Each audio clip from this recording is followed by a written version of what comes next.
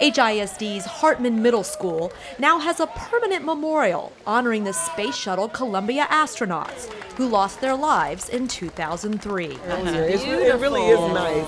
Columbia family members and NASA dignitaries recently joined HISD trustee Manuel Rodriguez to dedicate the memorial. We hope that this will inspire some of our students here in NASA and HISD to follow the paths of those astronauts and become the pioneers of the future. Hartman students and parents have been raising funds for the past year to rebuild the memorial, which was removed when a new school campus was built a few years ago. Then we've been trying to raise money to get this new one, as you can see right there.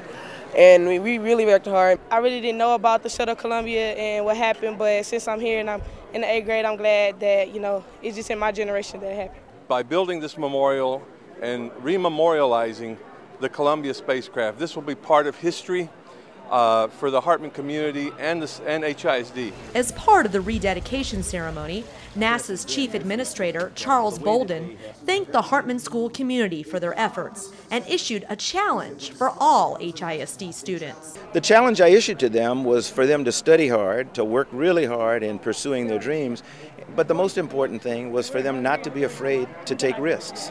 Hartman Middle School has a special relationship with NASA and the Space Shuttle Columbia. In 1996, 600 mustard seeds grown by Hartman students flew on Columbia as part of an experiment.